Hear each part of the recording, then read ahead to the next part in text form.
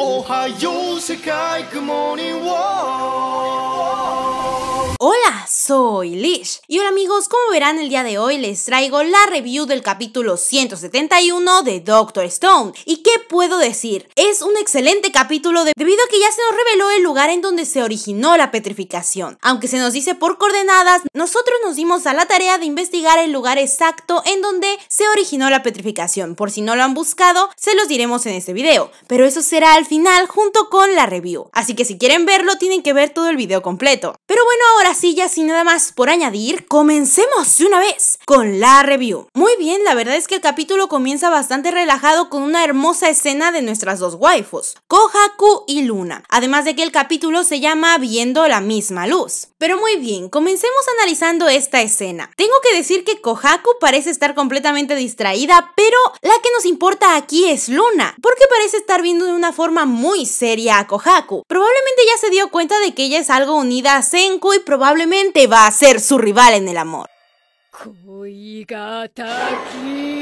Pero bueno, el problema de esto también es que no saben hablar porque sabemos que Kohaku habla japonés y Luna inglés, así que realmente no podremos ver una interacción entre ellas debido a que pues no se entienden. Pero aún así se me hace muy interesante esa mirada que tiene Luna hacia Kohaku. Pero bueno, ahora sí ya comenzamos con lo interesante del capítulo. Vemos cómo es que el Dr. Seno y Senku comienzan a hablar sobre el rayo petrificador. Además de que Senku le enseña la grabación que hizo Byakuya para ellos. A lo que Tseno no se sorprende de eso ya que dice que compartir esa información era muy de Byakuya. Además de que nos muestran una hermosa escena de cómo es que los dos agradecen la información dada por Byakuya en este momento, y que gracias a él es que van a poder identificar el punto de origen de la petrificación. Mientras tanto vemos cómo es que todos los que están en el barco parecen estar bastante relajados. Incluso Luna se preocupa de que si está bien que ellos estén disfrutando de tomar té afuera del barco, mientras el doctor Seno y Senku se están encargando de todo. Aunque Ryusui le contesta que es mejor no estorbar, ya que ellos no saben nada sobre ello. Y la verdad es que Ryusui tiene mucha razón. Es aquí como vemos que Francois va a llevarles comida al Dr. Seno y a Senku para que descansen un poco, pero entonces Chrome dice que él se las llevará. Obviamente esto lo hace para ver qué es lo que están haciendo los dos científicos y tal vez así poder ayudar. La verdad es que esto me encantó mucho, pero justamente cuando vemos que Chrome entra, ve cómo es que está el Dr. Seno y Senku jugando con burbujas o eso es lo que aparentaban estar haciendo. Obviamente Chrome se sorprende mucho al ver esta escena ya que no entienden el por qué lo están haciendo. Y como siempre lo han hecho, nos explican la fórmula de cómo es que crearon estas burbujas, ya que nos dicen que los ingredientes son detergente de cocina, una cantidad necesaria, agua, pero menos de la mitad de lo que añadiste del detergente y azúcar, varias cucharadas. En la receta se nos dice que mezclemos las tres sustancias sin que se haga espuma y que diluyamos en pequeñas cantidades el agua caliente. Para completarlo solo tenemos que añadir glicerina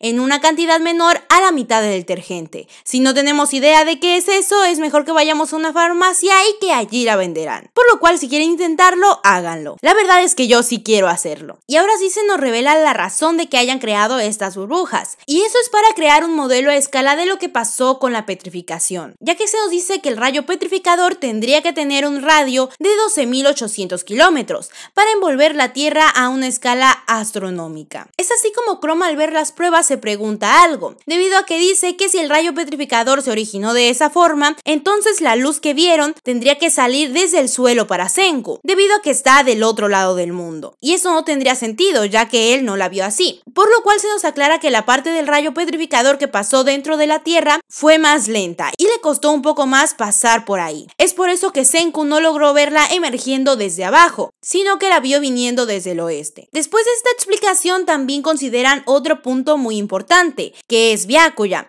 debido a que la nave espacial en donde se encontraban no se mantuvo inmóvil en el espacio, estuvo dando vueltas alrededor de la Tierra constantemente, por lo que en un par de decenas de minutos puede llegar a dar una media vuelta a la Tierra. Y eso significa que si hubiera sido como el ejemplo que estaban dando de las burbujas, la nave tendría que haber entrado en la petrificación, pero si esto no pasó, solamente significa que la ola de luz tenía una altitud bastante baja, por lo lo que lo más probable es que la ola del rayo petrificador fue aplastada contra la superficie debido a la gravedad, y es por eso que no salió hacia el espacio y logró petrificar la nave en donde se encontraba Byakuya, dándonos así otro avance de cómo funciona el rayo petrificador. Y es así como el doctor Seno y Senko comienzan a hacer los cálculos, ya que dicen que desde el momento en el que se vio la luz en el horizonte para el doctor Seno hasta el momento en el que alcanzó el rayo petrificador a Senku pasaron 56 segundos, lo que significa que el rayo petrificador se expandía a la misma velocidad y en ningún momento cambió. Es así como haciendo más cálculos se nos revela que la velocidad a la que se movía el rayo petrificador fue a 32.000 kilómetros por hora. Con esta información podemos decir que el rayo petrificador era más rápido que la velocidad del sonido, ya que esta es de 1200 kilómetros por hora, mientras que al mismo tiempo era mucho más lento que la velocidad de la luz, debido a que la velocidad de esta es 300.000 kilómetros por segundo. Toda esta información revelada se nos menciona que lo único que falta por saber sobre cómo se originó el rayo es el ángulo, aunque obviamente solo sería un aproximado. Y es por eso que ambos comenzaron a calcular el punto en donde ellos vieron que se originó la petrificación, o sea, el ángulo desde donde vieron que se empezó a originar esta luz. Y al tener estos puntos hicieron una línea y en donde ambas se intersectaran, esta sería el origen real de la petrificación, dándonos así que la petrificación se originó a 300 grados 7 minutos sur y 60 grados 1 minuto oeste. Y ahora sí, como les dije, nosotros sabemos el punto exacto en donde se originó. Y justamente este punto es Rua Mayor Gabriel, Centro Manaus, en Brasil. Por lo que sí ya tenemos el lugar específico en donde se originó. Y aunque como lo dijeron ellos mismos, este lugar es un poco estimado, podemos decir que debido a todos los datos que tenían, ahora tienen un punto más exacto de donde se originó. Y sí, ahora está confirmadísimo que fue en Brasil. Pero bueno, vamos a comenzar a teorizar todo lo que puede pasar. Primero que nada, ¿qué es la petrificación? Hay muchas teorías sobre qué era la petrificación, pero debido a lo que se nos dijo ahora, se pueden haber reducido un poco. Además, pensándolo de cierta manera, hay una teoría muy popular que puede seguir siendo factible, la cual es la de los nanobots. Debido a que estos podrían haber seguido con la misma velocidad independientemente. Por otro lado, también es lógico que hayan sido retenidos por la superficie de la gravedad de la Tierra, debido a que si salían de esta se congelarían, por lo cual tiene mucho sentido que se hayan mantenido dentro de la atmósfera. Pero para hablar de mejor manera, hicimos un video hace tiempo sobre esta misma teoría, además de teorizar un poco sobre algunas otras, y se los dejaré aquí arriba en la tarjetita de video por si quieren ir a verlo. Pero bueno, ahora sí vamos a teorizar qué es lo que se van a encontrar Seno y Senku en el origen de la petrificación. Primero que nada ya habíamos teorizado que posiblemente se encuentre una pequeña población en esta parte, y muy posiblemente por el rango de escala que tenía esta, vayan a encontrar algún tipo de fortaleza o algún tipo de artefacto que originó en primer lugar la petrificación. Obviamente este pueden ser los vestigios, o sea que este tipo de arma ya se encuentre destruida, o incluso debido a que hay personas que se quedaron vivas ahí, posiblemente, puede que este siga intacto. Por otra parte, debido a que esta arma tiene muchísimo alcance, significa que sería bastante voluminosa. Y esto me hace pensar que posiblemente la ciudad en donde estuvieron estaba de acuerdo para crear esta arma y petrificar a la humanidad,